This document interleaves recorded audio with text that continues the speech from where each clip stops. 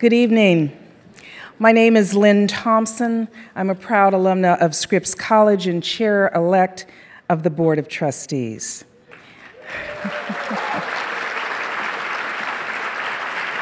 Thank you for that. I'm delighted to welcome you to this evening's event with Arundhati Roy in conversation with Hector Tobar, which is presented in partnership with the Library Foundation of Los Angeles and the Japanese American Cultural and Community Center. Our mission at Scripps College is to educate women to develop their intellects and talents through active participation in a community of scholars, so that as graduates they may contribute to society through public and private lives of leadership, service, integrity, and creativity. We fulfill this mission by providing our students a transformative educational experience that is rooted in the humanities, informed by contemporary social, economic, and political challenges, and fueled by dialogue. All year long, the college, under the auspices of Scripps Presents, hosts writers, artists, performers, and scholars at our campus in Claremont as a way to provide a forum for community engagement and the exchange of ideas beyond the classroom and nurture an environment for inquiry and intellectual exchange. Tonight is quite special for the college as it's the first time we're presenting an event in downtown Los Angeles. For us, it's a rare and exciting opportunity to share our mission with a wider audience that includes not only our students and our alumni, but all of Los Angeles as well. We're honored to be in the room with all of you and hope we'll get a chance to host you on our campus in Claremont or again downtown. Until then, I'm very pleased to present Louise Steinman, Director of Cultural Programs of the Aloud series, who will introduce our distinguished guests. Thank you.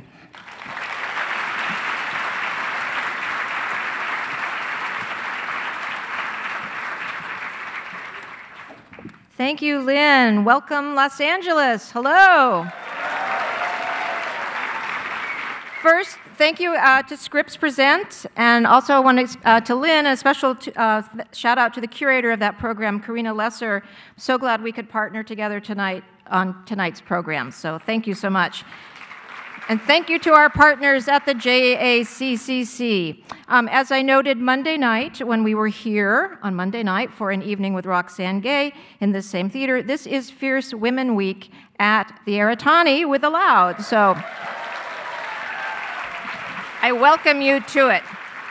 Um, for those of you who are new to Aloud, I know many of you come over there to the Central Library, but if you're new to it, we present programs year round, most of them at the beautiful Central Library, just a few blocks away from here, and at other venues around the city. And we hope that you'll join us through the month of July to the end of our season uh, for some free events at Central Library and here again at the Aratani on July 18th for an evening with Sherman Alexie. Remember, if you're a Library Foundation member, you get advance notice of our upcoming events and discounts on tickets, but most of all, by joining the Library Foundation, you are supporting the Los Angeles Public Library, an institution we can and must all cherish and keep healthy, especially in these times. So consider becoming a member. A little housekeeping before I um, begin my introduction of Arundhati. We have two microphones for the Q&A um, after the conversation and the reading. They'll be down here. We'll try to get to as many of you as we can. We probably won't get to all of you. If you can ask a question, for a question, that would be much appreciated. Um, afterwards, Arundhati will be signing her books in the lobby, and if you didn't get a chance to pick up your book tonight, um, we'll have them available, available in the lobby for, for pickup. Now, on to the program. It's been 17 years since Arundhati Roy published her debut Booker Prize winning novel, The God of Small Things. And in the intervening years, however, she's not been idle. Indeed, she's become well known as a prolific essayist and polemicist in her native India, and as well an activist. She's written eight books, including most recently Things That Can and Cannot Be Said, co authored with John Cusack, and other works include The End of Imagination, which condemns India and Pakistan's nuclear showdown, The Doctor and the Saint, an examination of caste, Capitalism, a Ghost Story, about the reforms in India that have further dispossessed the country's poor. She's written about mass suicides of farmers whose land has been destroyed by mineral exploitation. She wrote about the 2002 Gujarat massacre of Muslims by Hindus. She wrote about the struggle for freedom in Kashmir, about paramilitary operations in central India against indigenous tribal populations. And she was jailed during a campaign against a new mega dam. She is not easily intimidated. She was born in northeast India to a Syrian Christian mother and a Hindu father who managed a tea plantation in a small town. Her parents separated when she was two, and Roy's mother took her two children and returned to her hometown in Kerala. Arundhati spent some of her youth living among the poor, and from them, she noted to one interviewer, she learned to see the world from the point of view of absolute vulnerability, and it's a point of view that has not left her. Her new novel is about India, and the stories within stories of this novel unfurls India's national griefs. She writes that, quote, with partition in 1947, God's carotid burst open on the new border between India and Pakistan, and a million people died of hatred.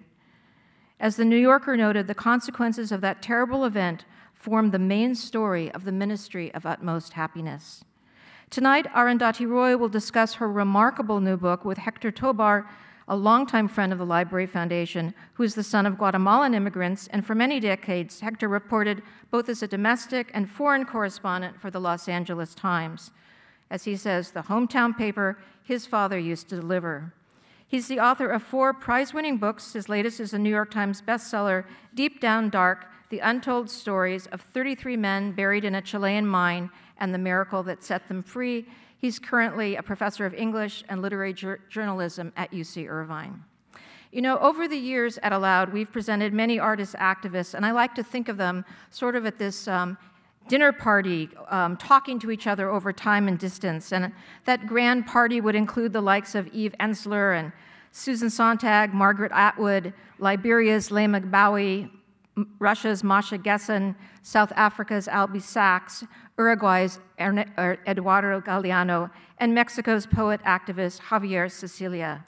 And I'd always hoped that we could present the late, great John Berger at Aloud, and sadly, it's too late for that, but tonight we are so thrilled to present his dear friend, Arundhati Roy, who, like John Berger, is a true witness to the human condition. Please join me in welcoming Arundhati Roy and Hector Tobar.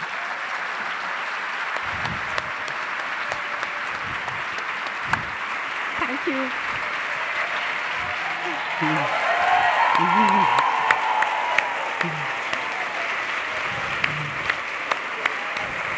Thank you.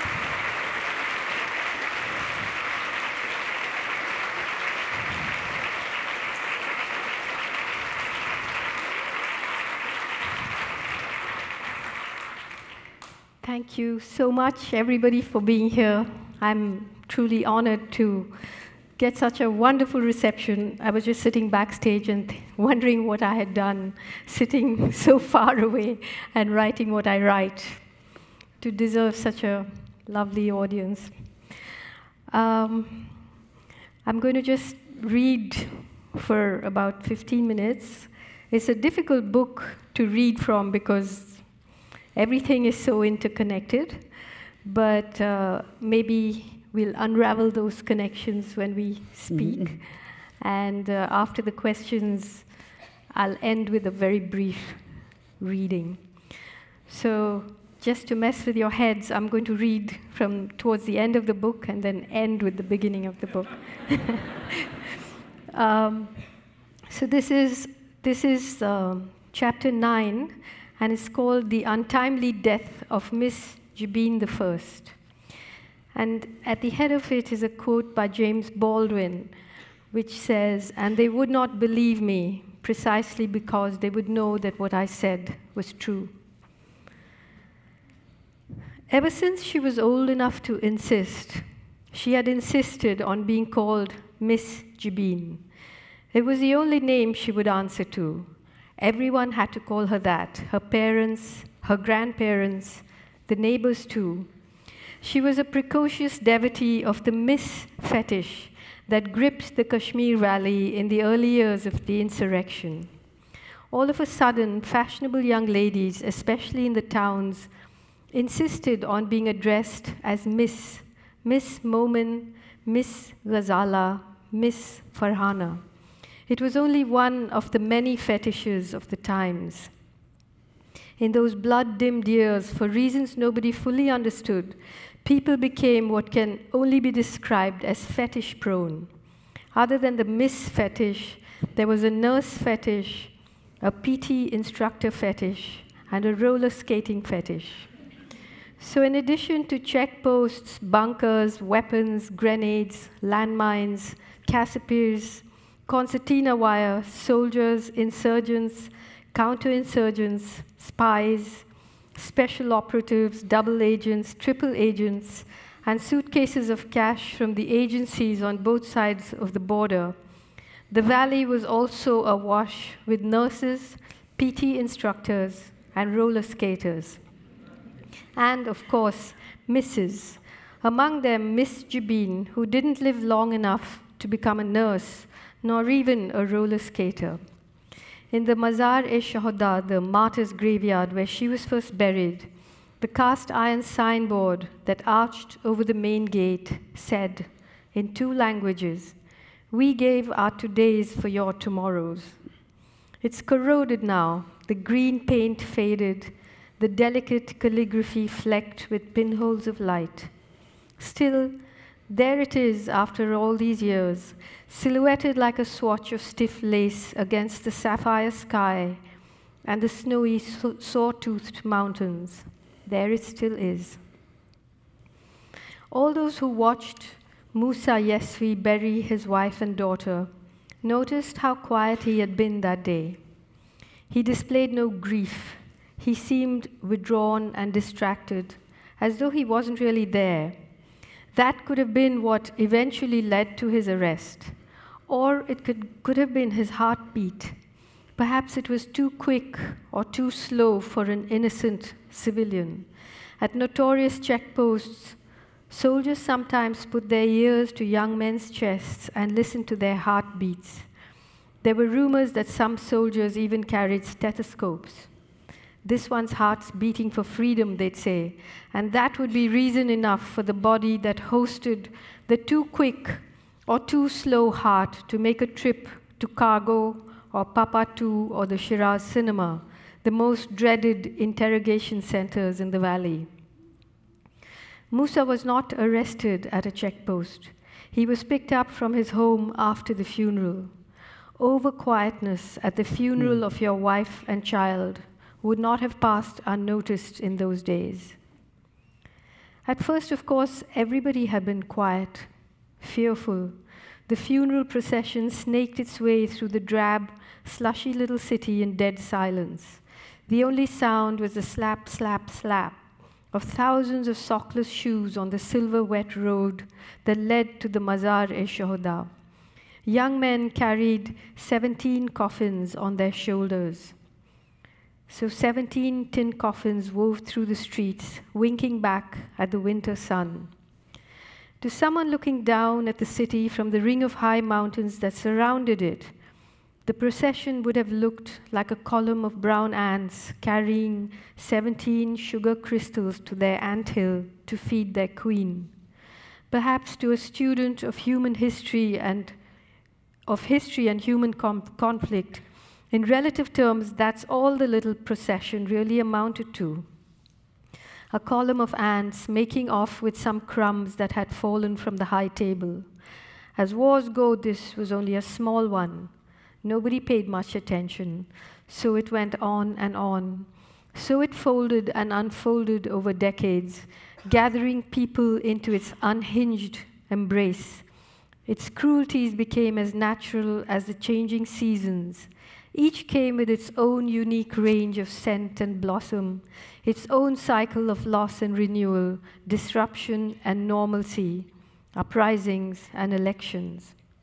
Of all the sugar crystals carried by the ants that winter morning, the smallest crystal, of course, went by the name of Miss Jebeen. Ants that were too nervous to join the procession lined the streets, standing on slippery banks of old brown snow, their arms crossed inside the warmth of their pherans, leaving their empty sleeves to flap in the breeze. Armless people at the heart of an armed insurrection. Those who were too scared to venture out watched from their windows and balconies. Each of them knew that they were being tracked in the gun sights of the soldiers who had taken position across the city, on roofs, bridges, boats, mosques, water towers.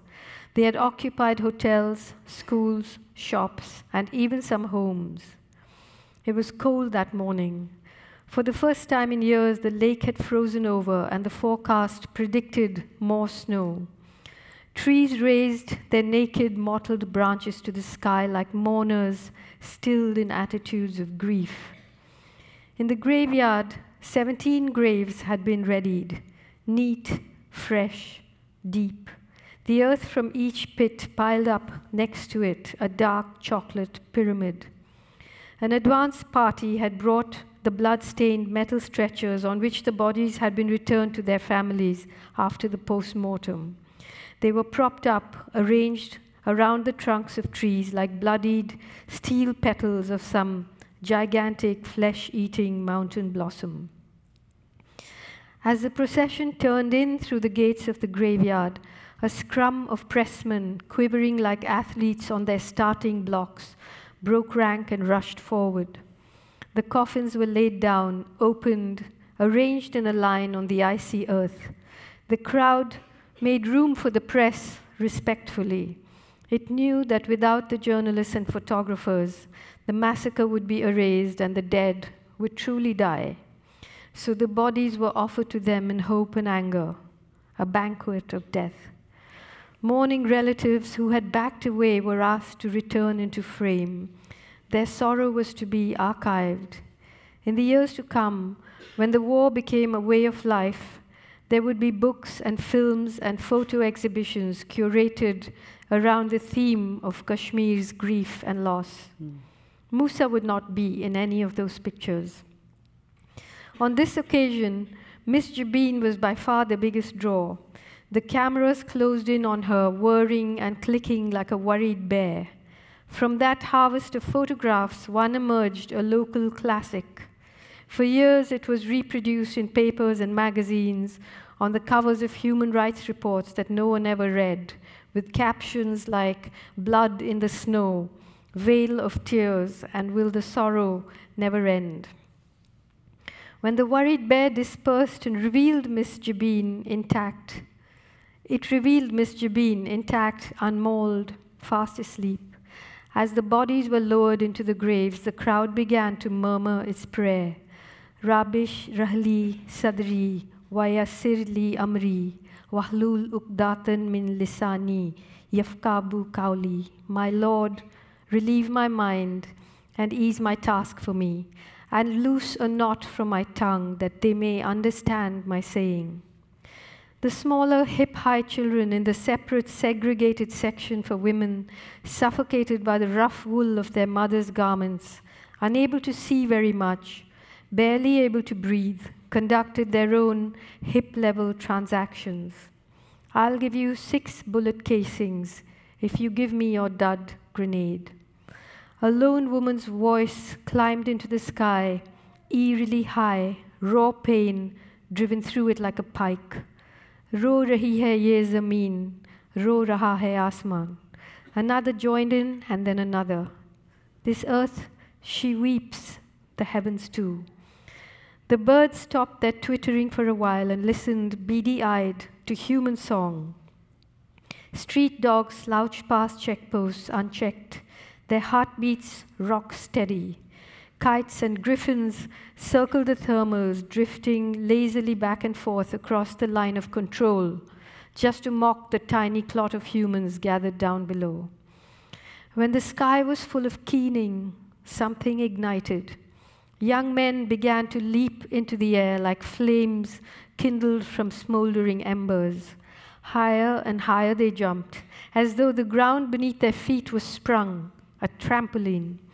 They wore their anguish like armor, their anger slung across their bodies like ammunition belts. At that moment, perhaps because they were thus armed, or because they had decided to embrace a life of death, or because they knew that they were already dead, they became invincible. The soldiers who surrounded the Mazar Shohada had clear instructions to hold their fire no matter what. Their informers, brothers, cousins, fathers, uncles, nephews, who mingled with the crowd and shouted slogans as passionately as everybody else, and even meant them, had clear instructions to submit photographs and, if possible, videos of each young man who, carried on the tide of fury, had leapt into the air and turned himself into a flame. Soon each of them would hear a knock on his door or be taken aside at a checkpoint. Are you so and so, son of so and so, employed at such and such? Often the threat went no further than that, just that bland, perfunctory inquiry. In Kashmir, throwing a man's own biodata at him was sometimes enough to change the course of his life, and sometimes it wasn't. They came for Musa at their customary visiting hour, four in the morning. He was awake, sitting at his desk, writing a letter. His mother was in the next room. He could hear her crying and the comforting murmurs of his sisters and relatives. Musa heard the ve vehicle approach from his first floor window. He saw it turn into the lane and stop outside his house. He felt nothing, neither anger nor trepidation, as he watched the soldiers get out of the armored gypsy. His father, Shaukat Yeswi, Godzilla to Musa and his friends, was awake too, sitting cross legged on the carpet in the front room. He was a building contractor who worked closely with the military engineering services, supplying building materials and doing turnkey projects for them. He had sent his son to Delhi to study architecture in the hope that he would help him expand his line of business. But when the uprising began in 1990 and Godzilla continued to work with the army, Musa shunned him altogether. Torn between filial duty and the guilt of enjoying what he saw as the spoils of collaboration, Musa found it harder and harder to live under the same roof as his father. Shaukat Yeswi seemed to have been expecting the soldiers. He did not appear alarmed. Amrik Singh called. He wants to talk to you. It's nothing. Don't worry. He will re release you before daylight. Musa did not reply. He, he did not even glance at Godzilla, his disgust apparent in the way he held his shoulders and in the erectness of his back. He walked out of the front door, escorted by two armed men on either side of him, and got into the vehicle. He was not handcuffed or head bagged. The gypsy slid through the slick, frozen streets. It had begun to snow again. Thank you.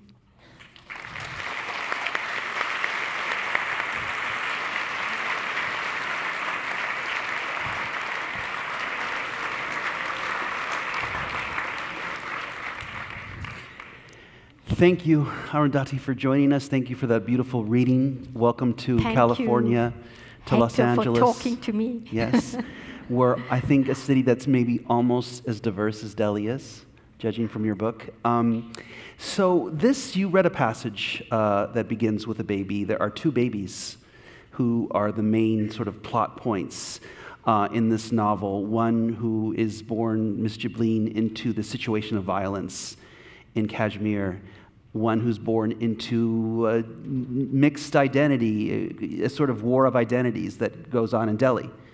But um, books themselves are kind of like babies, no? The gestation's a little bit longer. You had written many works of nonfiction after your last novel. Do you remember the moment of conception of this novel or the season of conception when this novel began? Oh, well, you know, in a way, there was a sort of.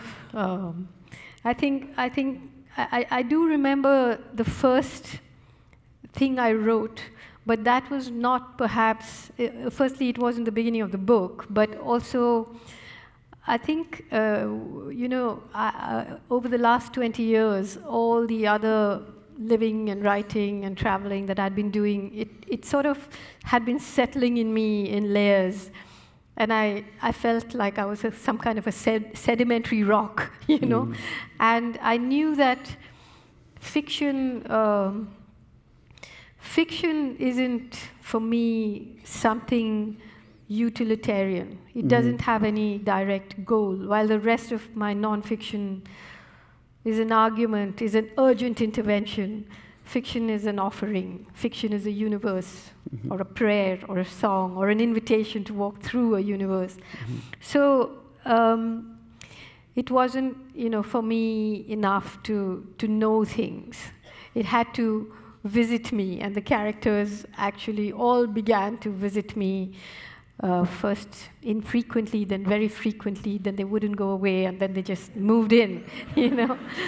but uh, mm. but the first the first thing that I did write uh, is set in a place called Jantar Mantar in Delhi, mm -hmm. and it's the sort of nerve center of the book, and it's a place where all the resistance movements and dreamers and idlers and nut jobs and people on hunger strike for a better world for you know 18 years and pamphleteers and me used to hang around a lot.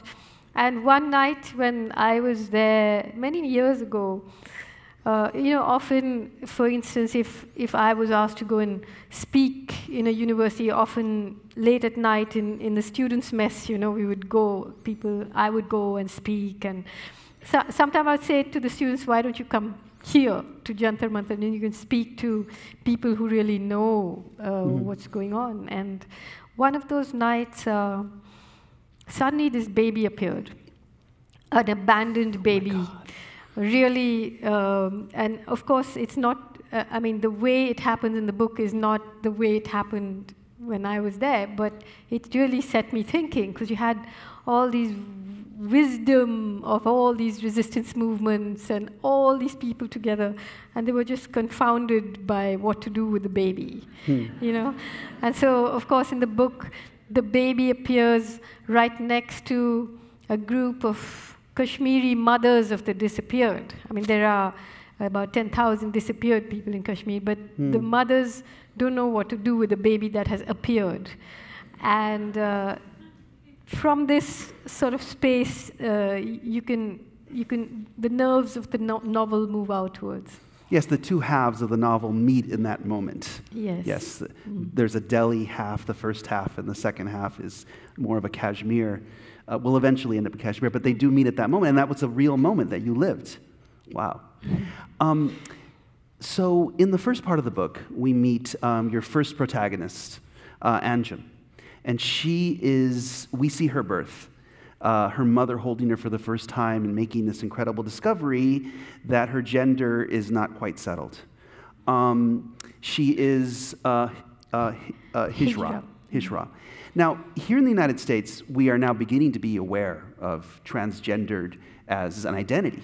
Um, and of course, all societies, all cultures have always produced transgendered people. But in India, this is something that goes back centuries, this identity of being Hijra. Yes? Yeah, I mean, it's, it's, it's, it's, um, it's always had a place. Whether that place is a safe place or not can be disputed because. It, it, yes. You know, actually, it's, it's, it's had a organization. They have an organizational structure in Delhi, for example, there are various what are called gharanas, and the city is divided into zones, and each has a each group has a particular zone that it kind of can patrol and go to weddings and births and get money, and so there's a system. But uh, the language of uh, you know the precise language of rights and Western liberal in Western liberal society is now replacing a more of, uh, amorphous mm. uh, language, you know? So it does two things simultaneously. You know, on the one hand, uh, the Supreme Court, I mean, this is not about trans, but the Supreme Court of India has actually recently criminalized homosexuality. Oh. So it's moving backwards in some ways, you know, and on the issue of gender, while there are, while modern society is developing languages to address what maybe now is 57 genders, but still that leaves out the 58th or the 59. You know, so are people being freed or are they being isolated?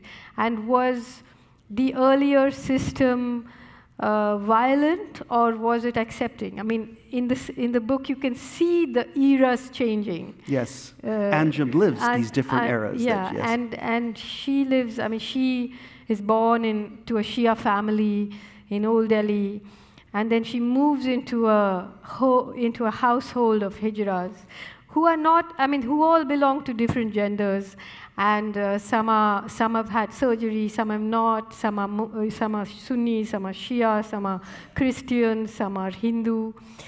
And in fact, Anjum's story is interesting because she actually gets caught up in the 2002 massacre yes.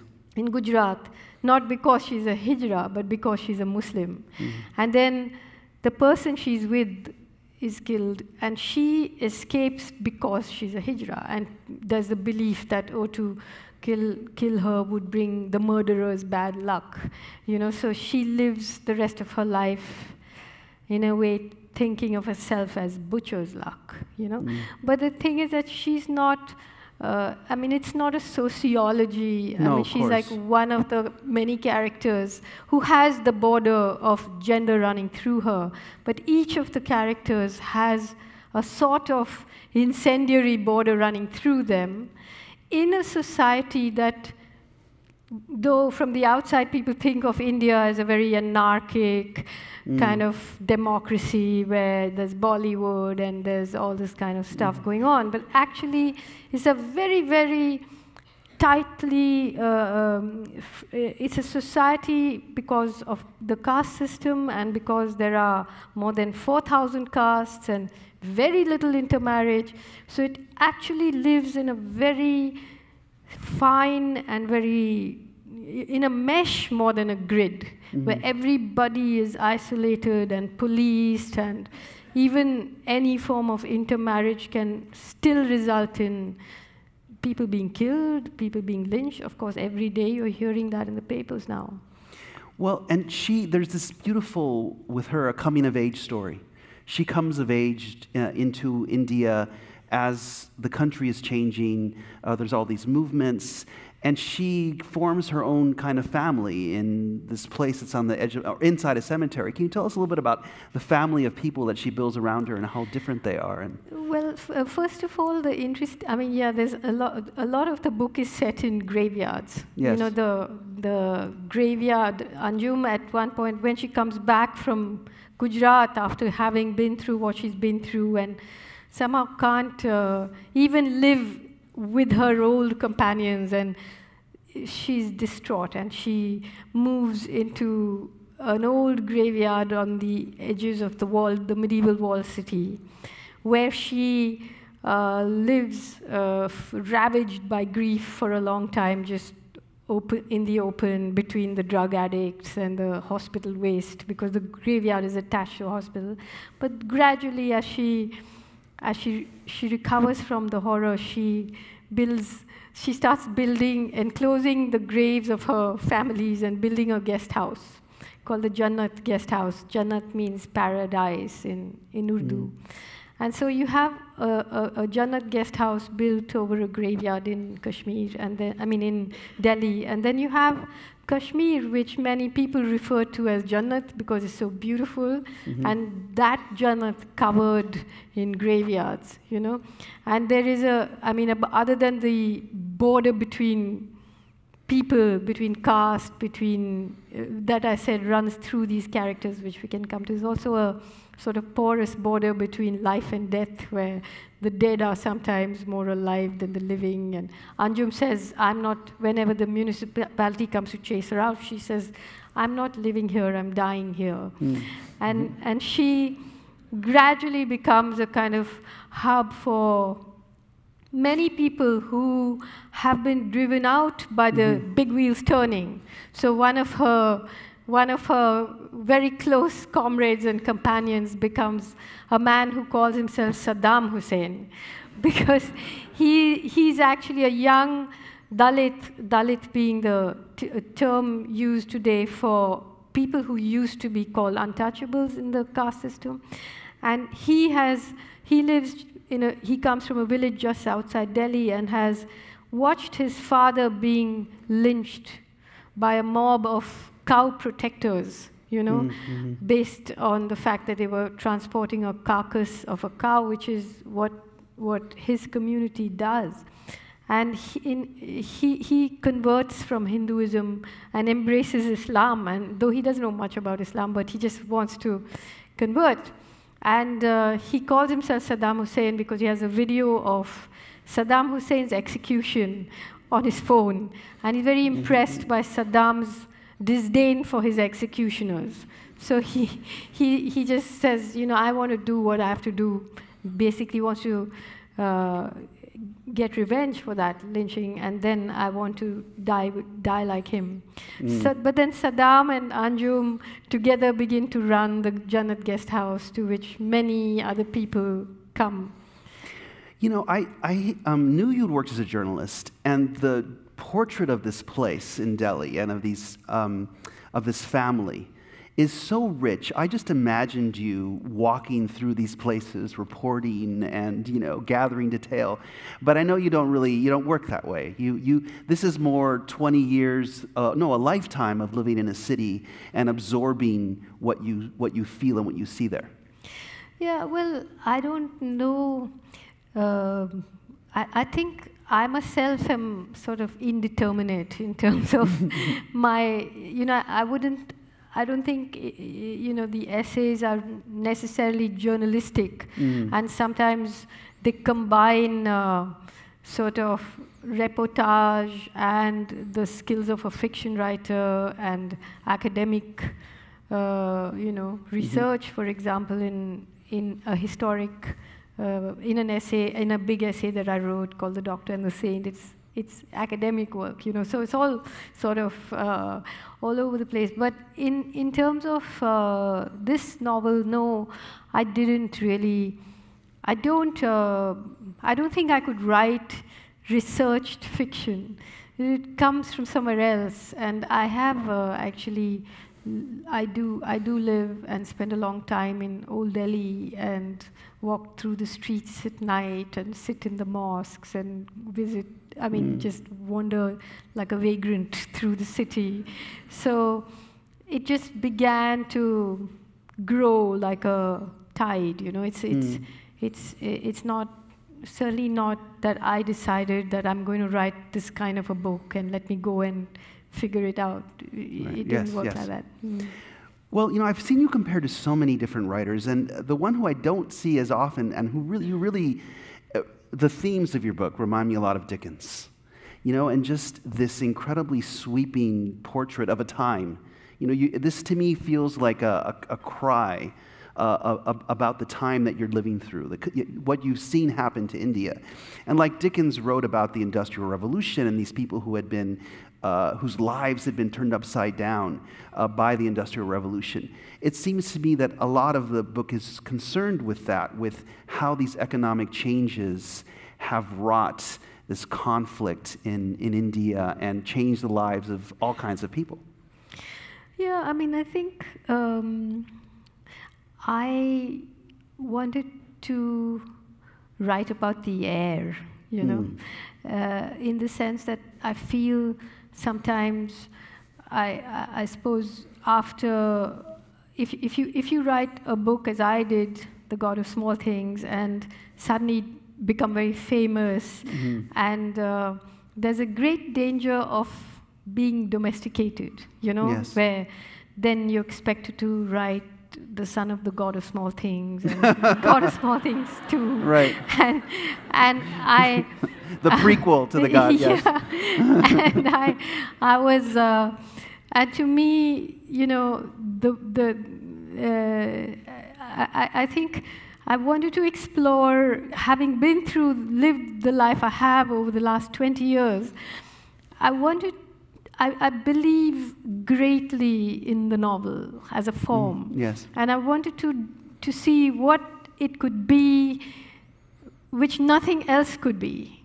Not a book of history, not a book trying to be a film, but how do you, and, and it's not just, it's not just I that ran the risk of being domesticated. I also think the speed at which books have to be bought and sold and presented and cataloged and given advances and put on bestseller lists and so on, it eventually, you, you end up like with sort of NGO funding headlines, you know? Like, is it mm. about gender? Is it about this? Is it about peace? Is it about war? Is it about urban? You know, and to me, it has to be about all this because that's the air we breathe. We breathe the air of music and poetry and intimacy and love and brutal occupation and caste and it's artificial to separate them. Yes. It's artificial to push politics out of fiction. It's not, it's not the other way around, you know? So um, the idea to me was really how, how can you how can you look at a book really like I was saying like a city, you know, mm-hmm. and and and it, it, you have how how can I write a book where I just don't walk past someone, even if it's a small character, yes. and and and I I know that that makes it challenging, that makes it complicated, but I do trust readers mm, that readers don't want just baby food, you know, mm-hmm. just some kind of pre-digested pap, right? And yes, there are lots of languages in the book because mm. someone who lives in Delhi, every day we speak a lot of languages. We speak Hindi, we speak Urdu. If you go to Jantar Mantar, you'll, you'll hear Telugu, you'll hear Malayalam, you know, and mm. how do you absorb these cadences into a novel without it becoming gimmicky or, you mm. know, mm-hmm. tricksy stuff, you know? And um, I, I, I thought, it's fine, you know, we have, uh, the world now is a place where, you know, people sitting in old Delhi have spent lifetimes reading Jane Austen or Tolstoy mm -hmm. or Joyce, so it's okay. We can mm -hmm. also be difficult and complicated and specific about our experiences. So, yeah, I, I, I, uh, I thought I'd roll the dice. well, you have um, these love stories all throughout the book. Uh, love, a mother's love for a child, uh, old lovers who carry a torch for each other for decades, um, uh, and they uh, they come together. Um, An- Anjum has this love; she wants to be a, a mother. She has this desire for motherhood, um, and I was wondering, uh, is that that call to motherhood, do you ever call upon your own mother in not in a character specifically, but do you feel her spirit in your books? And how, how does she manifest herself in my in mother books? is a non-mother. she, I don't think she. Uh, but the thing is, in, in, in the book, there are there are so many women with so many different attitudes towards motherhood. Yes. All of which are generous. You know, like the uh, Anjum, Anjum finds a, um, the first child she finds abandoned on the steps of the Jama Masjid, and she brings yes. Jama Masjid, the big mosque in Old Delhi, and she brings her home and adopts her, basically, and calls her Zainab, and, and, and really discovers what it means to, to love someone so completely. And then, with as much longing as she joined the community of Hijras who lived in the mm -hmm. which is the house of dreams. She wants to leave and live a normal life and be a mother to Zainab. And then, of course, uh, you know, the Gujarat massacre and all that comes in the way of that. And then uh, there's Tilotma, who's the other main character in the book, who's, mm uh, who's um, not really at all interested in, in motherhood or being a mother. You know, so there's a question, I mean, she, she could be one, but she doesn't want to be one. Yes. And so there are women with different attitudes towards it, which are not bitter or nasty or anything like that, but just, you know, the idea that everyone isn't the same. Everyone doesn't have the same kind of predilection, you know. And um, Tilo is, in, in a way, she's as strong as Anjum is, but in a very different way. Tilo, you're saying. Tilottama, yes, yeah. Yes. She's a very, uh, she, she's a character who the, in the book says she's, she's like a, she lives in the country of her own skin and a Mm. country that issues no visas, you know. So she's very confounding to people, and she's uh, strange um, in a in a in a way that's almost walking the border of. Uh, what what her husband at one point wonders whether it's uh, whether it's actually insanity or a perilous kind of sanity. And, uh, you know, Anjum has the generosity and she hosts all the people that, that come and live in the guest house, including Tilo at the end. But Tilottama is, is, is uh, she's a wild poet in a way, you know, who walks alone. Well, she went to architecture school, yes? Like you did. But Yes. she's not. I've, I've read in other interviews that you, you say she's not modeled on you, but you have some things in common. She's um, she is um, to me in my head. I mean, it didn't Yes. ma- it doesn't matter, but in my head, she was like if um, Ammu and Velutha in The God of Small Things had a daughter and had their story ended differently, their daughter would be Tilo. You know, so she would be the younger sibling of Esteban and Ryan, the strange younger sibling. So I know her well, but Hmm. I'm not her. Okay.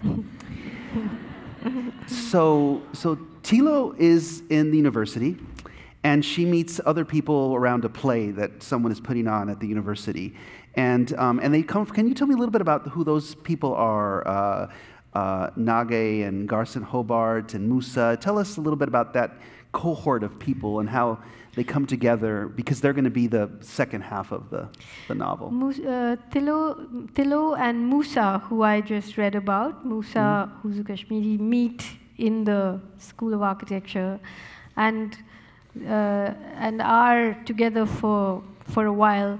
And then they're not, and they sort of drift apart. And he goes back to Kashmir and gets involved in the politics there. And she um, you know, works in an architecture firm and lives in the straight little, in a little storeroom on the edge of the dargah, the shrine of Hazrat Nizamuddin, on her own. And she, um, she sort of doesn't deny rumors that she's working for a drug uh, gang because she feels that it gives her some kind of protection. Uh, and, and, and the other two, Gar- uh, Garson Hobart, the man who's called Garson Hobart, who's one of the characters that I found um, when he started to visit me uh, very, very interesting because he's a, a, a kind of bureaucrat. He ends up uh, working, he's a very sophisticated upper caste mm, very intelligent man who works in the intelligence bureau. A Brahmin almost. A Brahmin, Yes, no, yes, not Brahmin. almost, a Brahmin. Okay. and and uh, you know he's he he has a he he too has a border running through him because one half of him is the kind of the voice of the Nehruvian state, not the current rabid Hindu national state, Yes. but the Nehruvian state that has created the climate for the rabid people to take over. So, you know, sort of secular and uh, uh, sort of uh, taking the long view of, you know, the massacres and the murders and the caste and the, you know, he, he, he has what in Hindi the word would be tehrav, you know, that ability to wait that the state has. Wow. The ability to look at something and then put it in a historical perspective and not take it personally, the ability to be cold in his views and intelligent. And on the other, the other hand, he's a slightly increasingly drunken, thwarted lover who, who um, is very self deprecating is really clear about his own faults. He's not mm-hmm. selling himself in any way, you know. So mm-hmm. he's that. And the other man is Naga, mm-hmm. who's who who's uh, uh, a very bright, very performative, very strutting guy, you know, who's who sort of starts off as a radical um, goes, uh, you know, as a student into the forests, uh, visiting indigenous, uh, you know, indigenous people's villages, comes back and performs uh, on stage wearing a loincloth and eating termites on toast and playing the Rolling Stones and yes. just, you know, a great performer, but sort of, sort of empty, you know, just so uh, engrossed with himself. And then he, he moves quite rapidly, as such people do, from the left to the right, and the only thing that remains mm. unchanged, as Garson Hobart notes dryly, is the decibel level, mm. you know? And, wow. and then he becomes a journalist, but then gradually gets, I mean, commits a few errors, and then gradually gets sort of taken over by the intelligence bureau and then starts to starts to be their man in the media. And uh, yeah so he's one of the other pretty fascinating people. So th these um, th these friends come together in an india um, from 20 years ago 25 30 years ago. And in the meantime there is this rise of hindu nationalism um, now, I am a neophyte when it comes to India, and you mentioned many politicians. Um, how close are the descriptions of those politicians to actual politicians? See, I'm afraid I can't tell you that. it's too, too dangerous. yeah. Yes. Too dangerous. Okay. I, um, I, I, I, have, well, I, I know, have, you know, uh, I just wanted to say yes. I have. Uh, Every, every few years in my life, five male lawyers get together and file a criminal case against me. so, so that's why I can't tell you. So first, first when I wrote The God of Small Things, five men, five lawyers filed a criminal case against me for corrupting public morality. yeah. Congratulations and when they when they filed it, they filed it, and uh, by the time it, the the case came up for hearing, I'd won the Booker Prize. They wanted to own the book, but the prize, but not the book. So the judge came out and said, uh, you know, every time this case comes before me, I get chest pains. then the next few years later, five men, five male lawyers filed a case against me for trying to kill them outside the gates of the Supreme Court at a protest that I wasn't present at. But uh, for that, I, I mean, I was actually sent to jail for a day. And wow. then uh, now uh, five men have filed another case against me, and on I get home on Sunday, and the hearing is on Monday for uh, contempt of court. So you know we can't really talk about who these politicians are. Okay.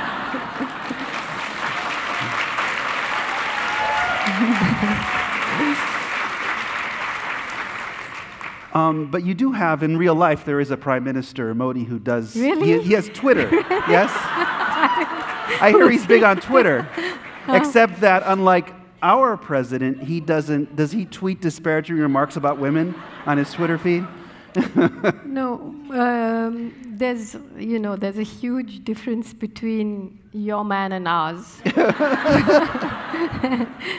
and the, to put it succinctly, the difference is that uh, yours is an outlier who's mm-hmm. just come in, you know, and uh, I think the deep state is very worried about him.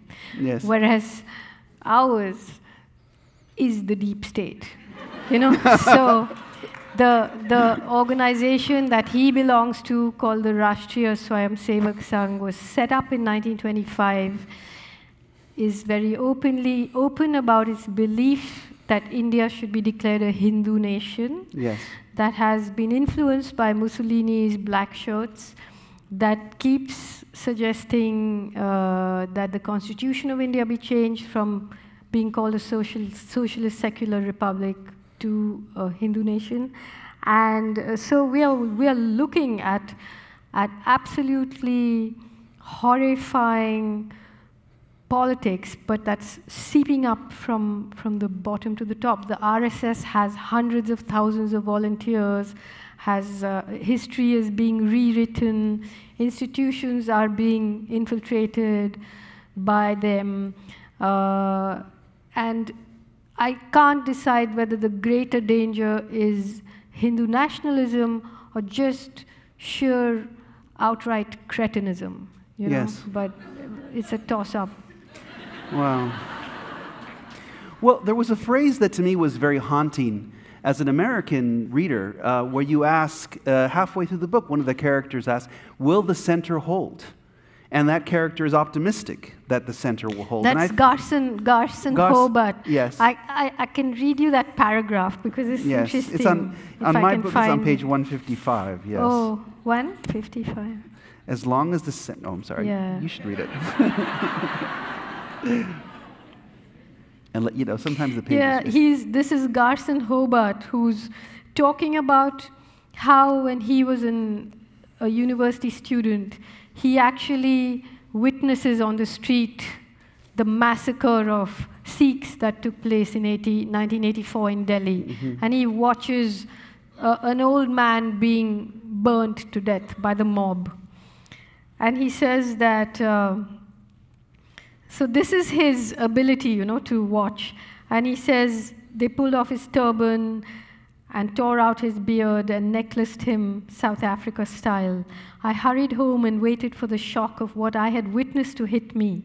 Oddly, it never did.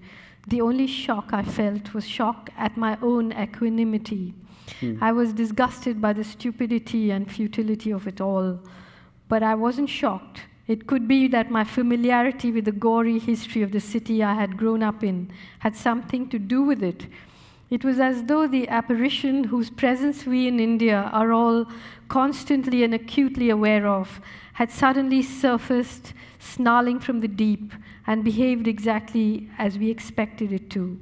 Once its appetite was sated, it sank back into its subterranean lair and normality closed over it Normality in our part of the world is a bit like a boiled egg.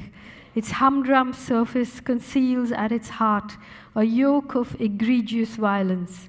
It is our constant anxiety about that violence, our memory of its past labors, and our dread of its future manifestations that lays down the rules for how people as complex and as diverse as we are continue to coexist continue to live together, tolerate each other, and from time to time murder one another. Mm. As long as the center holds, as long as the yolk doesn't run, we'll be fine. In moments of crisis, it helps to take the long view. Mm. So, this is the voice of the state. Um, but uh, he finds himself, Garson Hobart finds himself not drawn to, but he goes to Kashmir, he becomes drawn into the war. And so, my question for you is how did you become drawn to Kashmir? How did you begin to travel there, to learn about what was happening there, and to immerse yourself in it so much that you would end up writing a novel about it? How did that begin for you? Well, look, eh, you know, the thing is that in India, we are actually fed Kashmir. Oh. We are supposed to applaud the atrocities that go on there. Mm. You hmm. know, it's the densest military occupation in the world, and uh, I mean, I have my closest friends actually are Kashmiri, and so when I started going there, it wasn't it wasn't that I started going there because I wanted to write a book, mm-hmm. but you when you arrive there, you just feel astonished at the falsehood that is fed to the rest of the country, you know. And, and to me, the question was, how do you, uh, how are you supposed to hold that kind of, um, that kind of immorality in, inside you, and then not, uh, I mean, with what, with what face do you then protest other injustices mm-hmm. if you're prepared to digest that? So I, uh, I, I, and, and when I started, you know, when, when I began to understand the extent of what was happening there, I realized the power of fiction. You know, mm. that you can't really write about that kind of thing just with human rights reports and the documentation of the dead yes. and the disappeared because what does 25 living what does uh, an occupation like that do to people not just to the kashmiris but also to the indians also to the soldiers also to the collaborators it's such a complicated um, poisonous and terrifying thing. And you, you know, you, you can't write about it with footnotes and evidence and reportage. You have to write about it uh, only in a novel. You know, can you mm. look at it from all angles?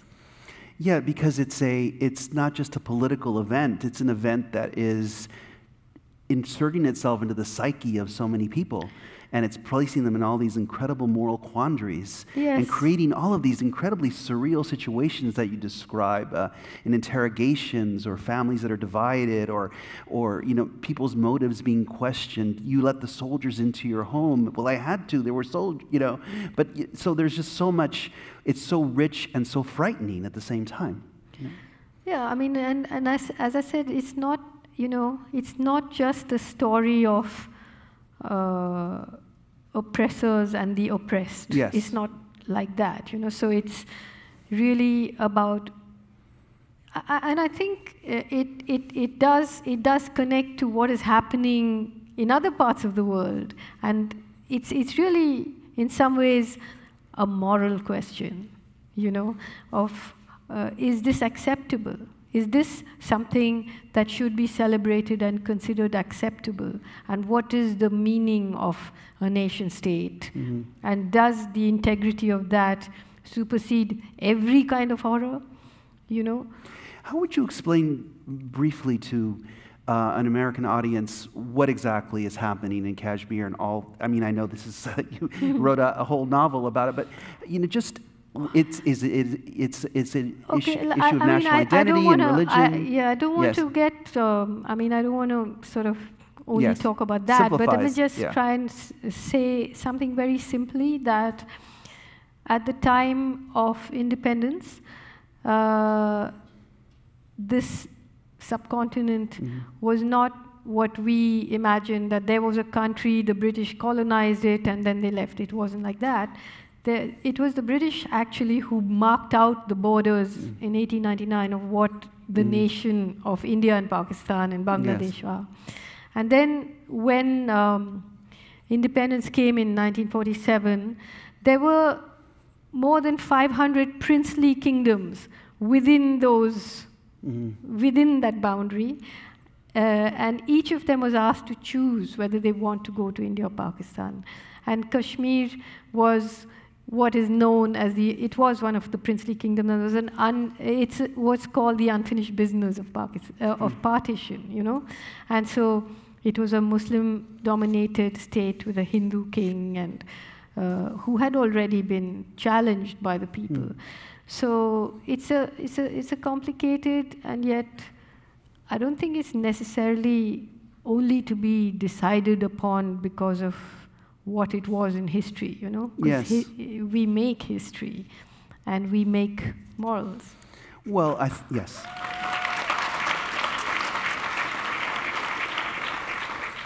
And it's just a, a, absolutely painful thing to read about such a beautiful place transformed into a place of, of mm. modern day horrors, of, yeah. of torture and. No, and I mean, let's let's not forget that British colonialism has marked out these borders and uh, just cutting through things and like as if they're just, you know, carving up a leg of lamb or something. They've done it all over the world. Hmm. Well, I'm going to ask one more question before we open it up to question and answer. There'll be microphones here for people who want to ask questions. And I guess um, the, I, I wanted to ask what you wanted people to take away from this book. And I can tell you what I took away from it was just being enlightened and outraged and concerned and connected and understanding that my humanity had this connection to these to people in another country who've lived a very different history but it, not entirely that different from my history as a guatemalan and i'm just wondering what, what you want what sort of your hope is that people will take from reading this novel i don't uh, i don't think like that mm. you know i mean i i, I just think mm-hmm. um, when i when i write it's like trying to construct a universe and it's almost like a love letter, you know, and people should take whatever they want from it, you know. And I think uh, what amazes me really is that I, I'm a person who has never lived outside of India, I mean, not mm-hmm. even studied outside India or anything. And I sit there and I'm, whether it was The God of Small Things or whether it's any of the political essays or this book, it's so specific and uh, yet obviously, you know, the more specific you are, the more it seems to resonate with people. Uh, because you don't yes. want anything formulaic, you know, and yet ultimately the deeper you burrow, you come out with, with, with the human condition. And all and i think that's what literature does you know it is the opposite of national boundaries and hmm. nuclear weapons. It just vaults over all that. And people uh, it's, it's the I think it's the fundamental thing about human beings, our ability to tell each other stories. It's a very primal thing to tell each other stories. So I don't have any prescription or anything mm -hmm. that I would, any particular way in which I want the book to be read. It's not mine anymore, it's yours, you know. Wow. well, thank you.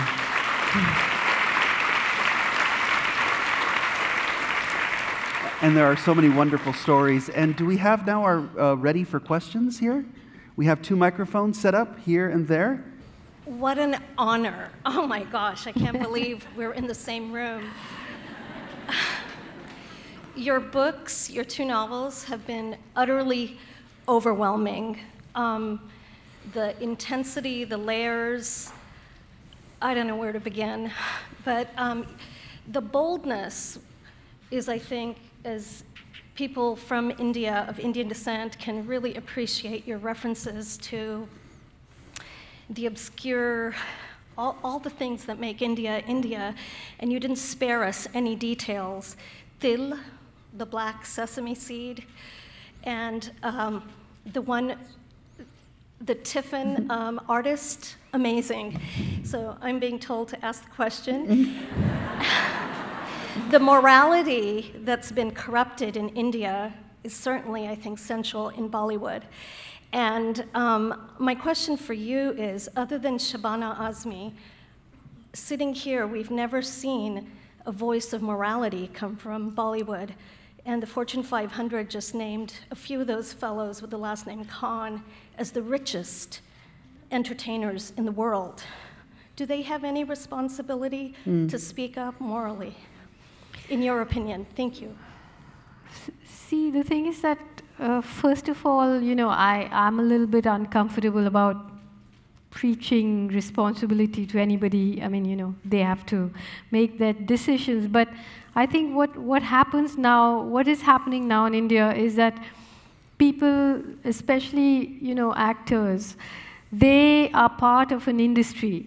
And that industry is extremely vulnerable. Mm. So every time anyone half says something, they get boycotted, the you know, cinema halls get threatened and so on. So it's a, I mean, it's a terrible situation. And I, um, I mean, I wish that everybody would, would show courage. And some people have, I mean, there are people like uh, Mahesh Bhatt and, you know, others who do say things, but the, the situation is, is, is truly terrifying now in India. You know, forget the big people. You know, mm. the idea that you have factory, like you have factory grown trolls now. You have tens of thousand people on WhatsApp groups that deliberately spread rumors and then people are lynched, people are killed. And each person that's lynched in the presence of policemen mm. Are, uh, you know, the whole community is under threat. The whole community is terrified. Mm. I mean, when I spoke in New York on this trip, in the audience was the daughter of a former member of the Legislative Assembly called Ehsan Jafri, who was hacked to death by mm. a hmm. mob in the Gujarat massacre. He, you know, 60 people or something were sheltering mm. in his hmm. house. I don't remember the figure, but all of them were killed. He was killed, the women were killed. And, uh, you know, court cases go on for years, nothing happens. Mm. Um, it's, it's, it's, you know, really a very, very dangerous situation. And the reason that not much news comes out is because it's a market-friendly democracy. so it has to be seen as a finance destination and so on. But ultimately, I would say, even for those who believe mm. in that, the situation is going way out of control. Mm. Our next question over here. Yes? Thank you. I want to thank you for your courage of your voice and your activism and all that you do.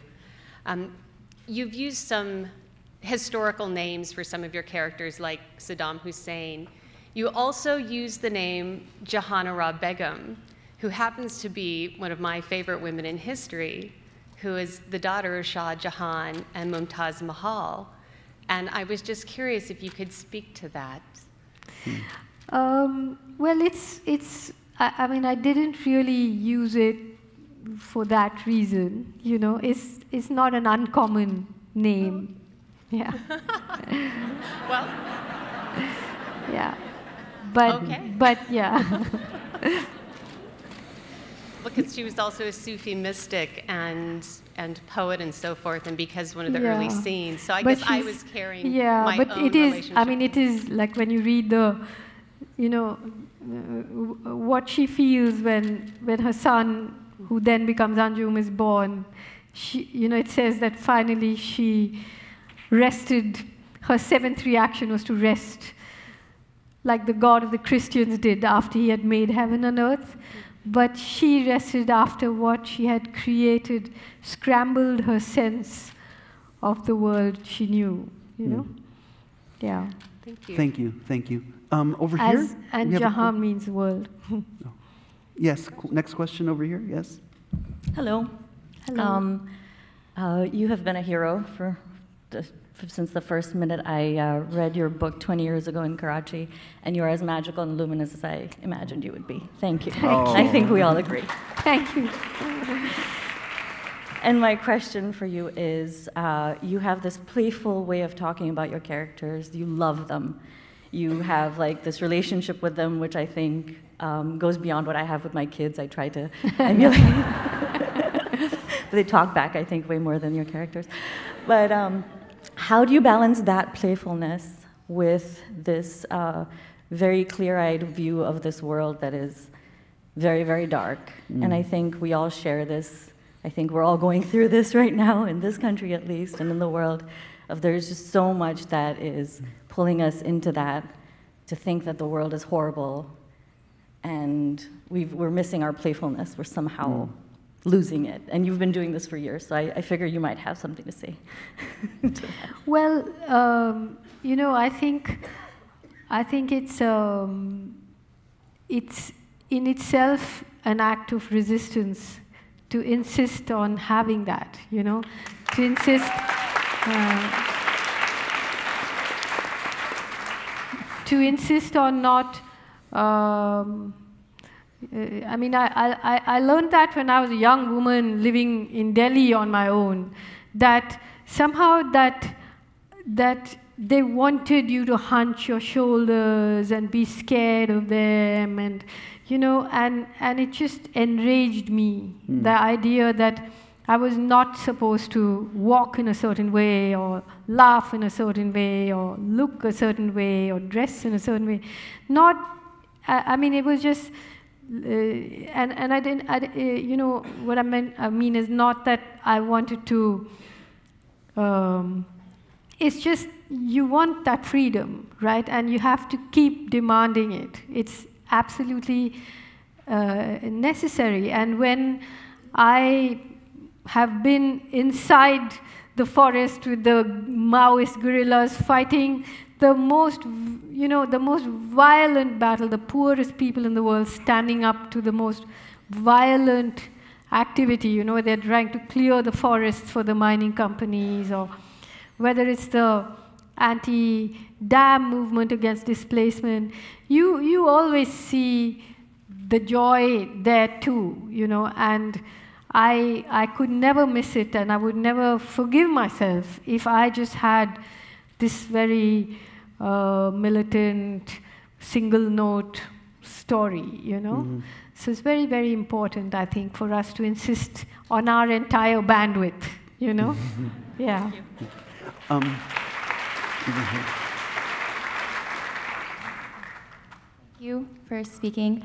Um, I wanted to say, uh, when you were reading your passage about Musa in Kashmir, it really evoked a lot of emotion in me. Um, my dada, my grandfather, and I'm sure a lot of people in this room have connections to Kashmir, but he was from Kashmir and then had to flee during partition and then became a refugee in Pakistan and then was never able to return. And so we would hear these stories growing up, and I think my dad did too, about how beautiful Kashmir is, and you know how you described it, like Jannat, described in the same way.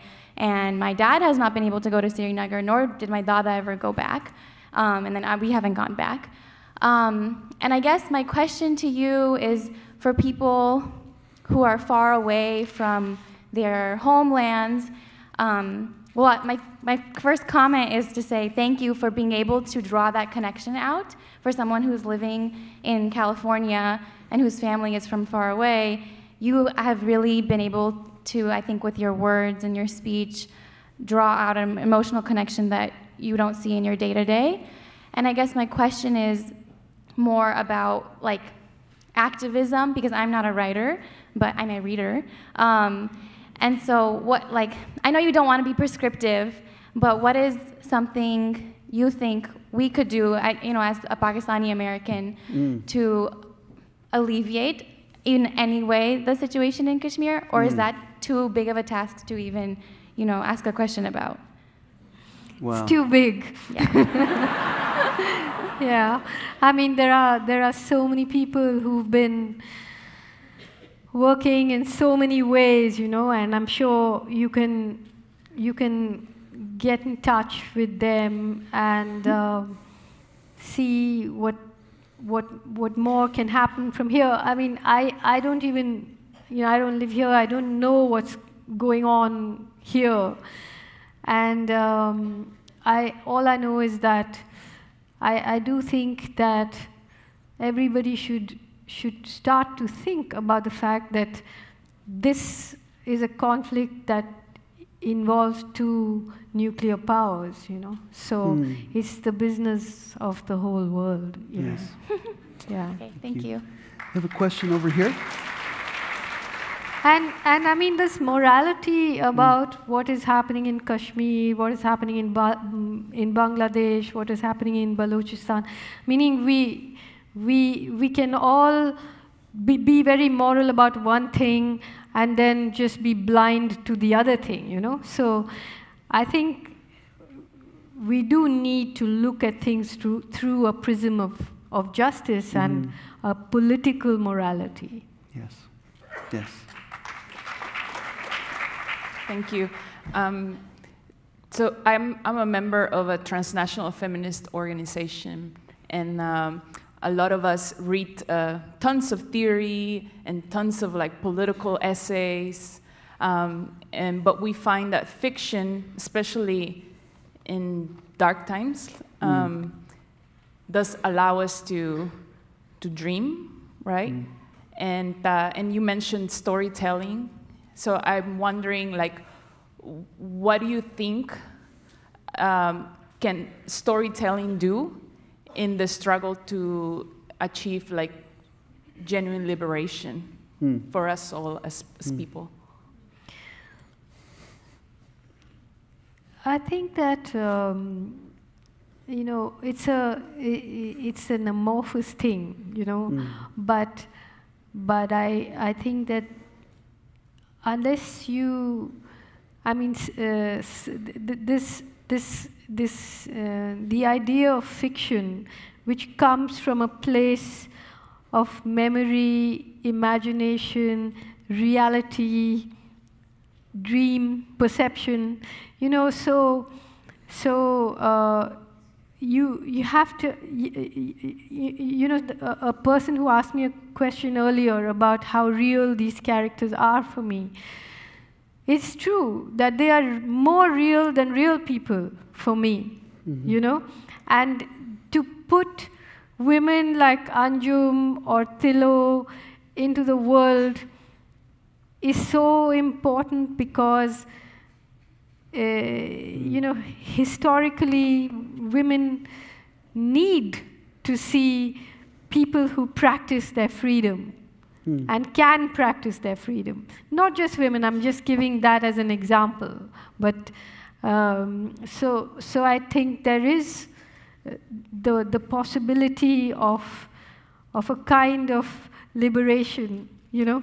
One of my friends uh, I mean, one of the most beautiful things mm, mm, uh, that was said to me about the Ministry of Utmost Happiness before it was published, actually, I, was, I, I showed the manuscript to a friend of mine from Kashmir, and he read it, and he said, I feel as though we've got freedom, you know? Wow. So uh, it's, it's, it's like you have to dream it first before anything. Yeah. Well, I think we'll take two more questions and then we'll go to the last reading. So over Okay. here for a last question from this side, and apologies to everyone who didn't get a chance to ask a question. Mm, Yes, hi. Uh, uh, first of all, I will, first of all, I want to. S- I'm so happy and excited to see you. I can't control my emotions because I love you very much. Oh, thank you. very much. And uh, my question to you is, uh, when did you decide to support uh, Dalits and Kashmiris? As you know that there is a majority of Hindus.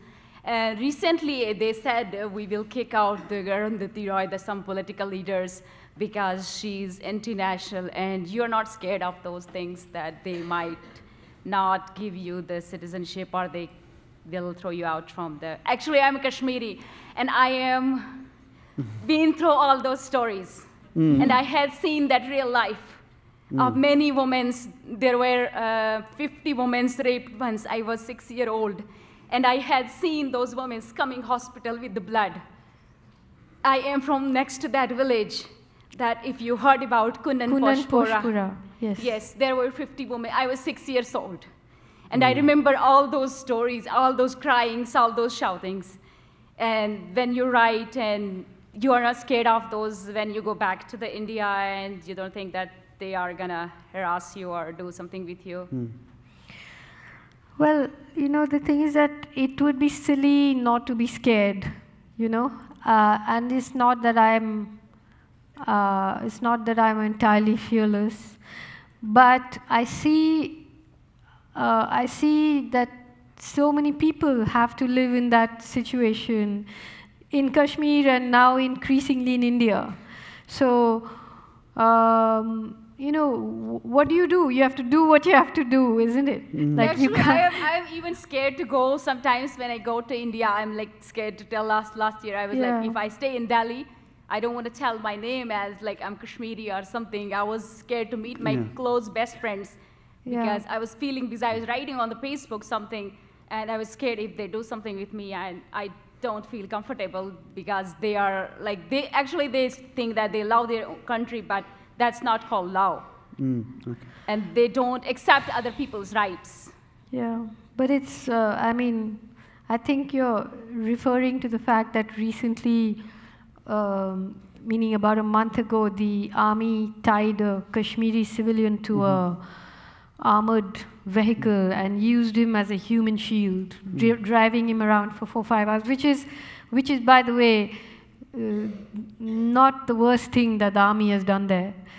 Uh, but uh, he was the officer was honored uh, for having done that, and uh, then a week later or something, uh, um, member of parliament who also happens to be a Bollywood star said that uh, instead of him, Arundhati Roy should be used as a human shield, and so you know it created a lot of uh, uh, debate where, of course, the TV channels were uh, holding programs like, was he right in suggesting that she should be used? but you know, I mean, now the med- uh, much of the media, oh, everything is everything. Just to watch these institutions crumble is is frightening. However, yesterday, uh, you know, thousands of people came out and marched on the streets of Delhi, you know, showing courage.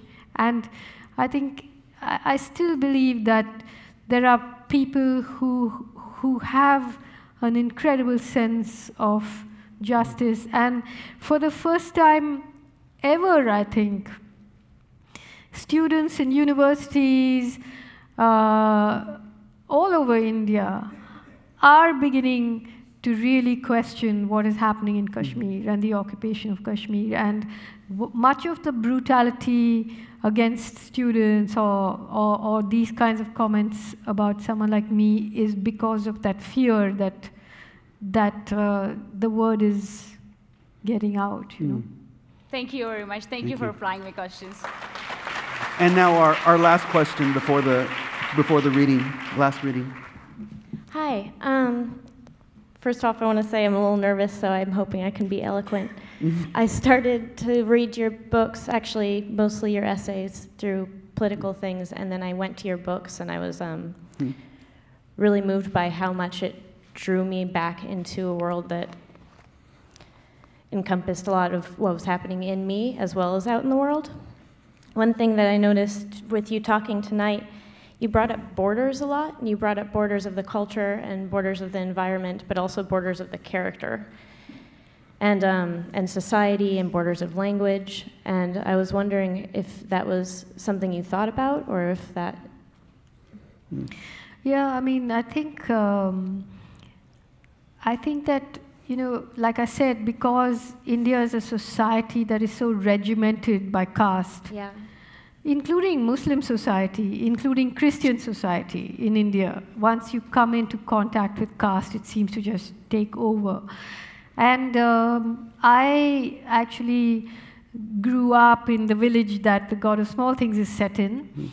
And my mother, who comes from a community called the Syrian Christians, who only a very tiny community in Kerala, married outside, was divorced when sh sh you know when I was just two, and so I belong to a very tiny proportion, percentile of Indians who actually am not part of the grid. And if you're not part of the grid, the grid becomes something that you keep looking at and wondering about, you know. And so, uh, and and it's not just about caste and things. You, Even if you, uh, you know, even when you're involved with all these resistance movements, you'll find that people who are, say, politically radical will be socially conservative. People who are socially conserv- uh, radical will be politically conservative. And all these borders seem to run through me. I have to call myself the edge girl.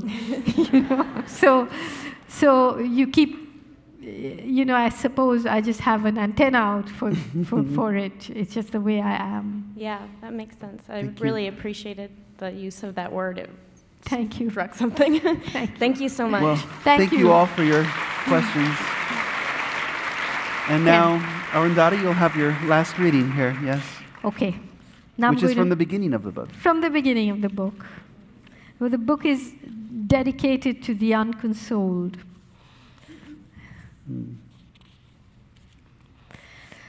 At magic hour, when the sun has gone but the light has not, Armies of flying foxes unhinge themselves from the banyan trees in the old graveyard and drift across the city like smoke. When the bats leave, the crows come home. Not all the din of their homecoming fills the silence left by the sparrows that have gone missing, and the old white backed vultures, custodians of the dead for more than a hundred million years, that have been wiped out. The vultures died of diclofenac poisoning. Diclofenac, cow aspirin, given to cattle as a muscle relaxant to ease pain and increase the production of milk, works, worked like nerve gas on white backed vultures. Each chemically relaxed, milk producing cow or buffalo that died became poisoned vulture bait. As cattle turned into better dairy machines, as the city ate more ice cream, butterscotch crunch, nutty buddy, and chocolate chip, as it drank more mango milkshake, vultures' necks began to droop as though they were tired and simply couldn't stay awake. Silver beards of saliva dripped from their beaks, and one by one they tumbled off their branches, dead. Not many noticed the passing of the friendly old birds. There was so much else to look forward to. So the first chapter is called Where Do Old Birds Go to Die? Mm. She lived in the graveyard like a tree. At dawn, she saw the crows off and welcomed the bats home. At dusk, she did the opposite. Between shifts, she conferred with the ghosts of vultures that loomed in her high branches. She felt the gentle grip of their talons like an ache in an amputated limb. She gathered they weren't altogether unhappy at having excused themselves and exited from the story. When she first moved in, she endured months of casual cruelty like a tree would, without flinching. She didn't turn to see which small boy had thrown a stone at her, didn't crane her neck to read the insults scratched into her bark. When people called her names, clown without a circus, queen without a palace, she let the hurt blow through her branches like a breeze and used the music of her rustling leaves as balm to ease the pain. It was only after Ziauddin, the blind imam who had once led the prayers in Fatehpuri Masjid, befriended her and began to visit her that the neighborhood decided it was time to leave her in peace. Long ago, a man who knew English told her that her name, written backwards in English, spelt Majnu. In the English version of the story of Layla and Majnu, he said, Majnu was called Romeo and Layla was Juliet. She found that hilarious. You mean I've made a khichdi of their story? she asked. What will they do when they find that Layla may actually be Majnu and Romy was really Julie? the next time he saw her, the man who knew English said he'd made a mistake. Mm. Her name spelled backwards would be Mujna, which wasn't a name and meant nothing at all. To this she said, It doesn't matter, I'm all of them. I'm Rumi and Julie, I'm Leila and Majnu and Mujna. Why not? Who says my name is Anjum? I'm not Anjum, I'm Anjuman. I'm a mehfil, I'm a gathering of everybody and nobody, of everything and nothing. Is there anyone else you'd like to invite? Everyone's invited. The man who knew English said it was clever of her to come up with that one. He said he'd never have thought of it himself. She said, How could you have, with your standard of Urdu? What do you think? English makes you clever automatically? he laughed. She laughed at his laugh. They shared a filter cigarette. He complained that Wills navy cut cigarettes were short and stumpy and simply not worth the price. She said she preferred them any day to Foursquare or the very manly red and white. She didn't remember his name now. Perhaps she never knew it. He was long gone, the man who knew English, to wherever he had to go, and she was living in the graveyard behind the government hospital. For company, she had her steel Godrej Almira in which she kept her music, scratched records and tapes, an old harmonium, her clothes, jewelry, her father's poetry books, her photo albums, and a few press clippings that had survived the fire at the Khwabgah. She hung the key around her neck on a black thread, along with her bent silver toothpick. She slept on a threadbare Persian carpet that she locked up in the day and unrolled between two graves at night. As a private joke, never the same two on consecutive nights. She still smoked, still navy cut. One morning, while she read the newspaper aloud to him, the old Imam, who clearly hadn't been listening, asked, affecting a casual air, Is it true that even the Hindus among you are buried? not cremated. Sensing trouble, she prevaricated. True? Is what true? What is truth? Unwilling to be deflected from his line of inquiry, the Imam muttered a mechanical response. Sach khuda hai, khuda hi sach hai.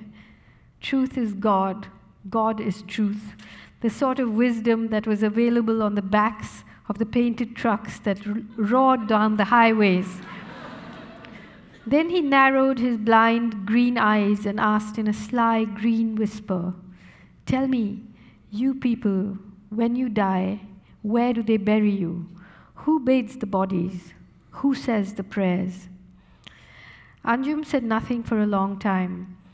Then she leaned across and whispered back, untree like, Imam Sahib, when people speak of color, red, blue, orange, when they describe the sky at sunset or moonrise during Ramzan, what goes through your mind? Having wounded each other thus, deeply, almost mortally, the two sat quietly side by side on someone's sunny grave, hemorrhaging. Eventually, it was Anjum who broke the silence. You tell me, she said, you're the Imam Saab, not me. Where do old birds go to die? Do they fall on us like stones from the sky? Do we stumble on their bodies in the streets? Do you not think that the all seeing, Almighty One who put us on this earth has made proper arrangements to take us away? That day, the Imam's visit ended earlier than usual. Anjum watched him leave, tap, tap, tapping his way through the graves his seeing eye cane making music as it encountered the empty booze bottles and discarded syringes that littered his path. She didn't stop him. She knew he'd be back. No matter how elaborate its charade, she recognized loneliness when she saw it. She sensed that in some strange, tangential way, he needed her shade as much as she needed his. And she had learned from experience that need was a warehouse that could accommodate a considerable amount of cruelty. Even though Anjum's departure from the Khwabgah had been far from cordial, she knew that its dreams and its secrets were not hers alone to betray. Thank you.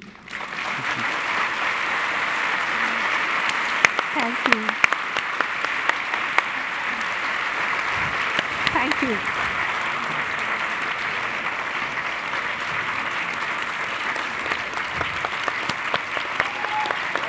Thank you.